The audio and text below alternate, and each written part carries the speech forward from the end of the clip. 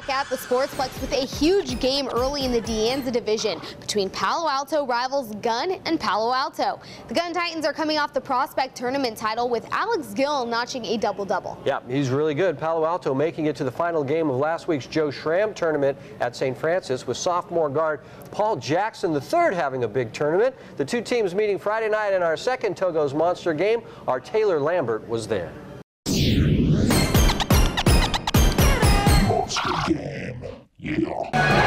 Gunn High School this evening. It is a huge crosstown rivalry game between the host Titans and the visiting Paly Palo Alto Vikings. Paly, they really showed up today. The crowd is going crazy, and they are led by Miles Tension. He's a real player for the Vikings. Gunn, meanwhile, has a host of talented players, but none better than Alex Gil. He can do it all, both on offense and defense. Obviously, a massive one today. Huge crowd, standing room only, so we made it the monster game. Early first quarter, Gunn's Alex Gil with the rock, and nobody's gonna stop Alex. Watch his mouth as he runs back up the court. You can't stop me! See? You, you can't stop him. On the other end for Paly, nice pass by Jack Simison. Gunn's Rohit Sampathi comes up with the big block, though.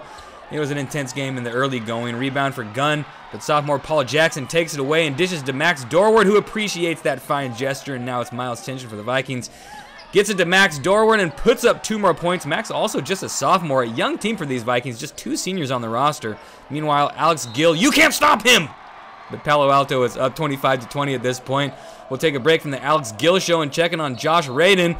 And turns out he's good at basketball. The Titans are a very aggressive team. Now we go to the second half, and Miles Tension decides it takes over the game.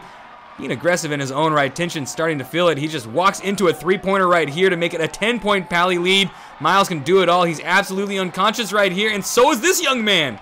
Feeling the, whoa, aggressive. Gil doing it all he can in the fourth quarter, falls down, keeps the dribble, drives in traffic, up and under. That's a good basketball player right there. And speaking of good, here's Miles Tension again. Four three-pointers in the game, all in the second half. 13-point lead here, and that'll pump up the Paly crowd. It actually doesn't take much to pump them up, but that will do it. To finish it off, we have Miles with the one-handed pass to Max Dorward, and he'll drop in two more. Miles with 25, Max with 15. While Jack Simison after the game, we'll talk to him. He finished with 10. I believe our coach wants us all to play our roles.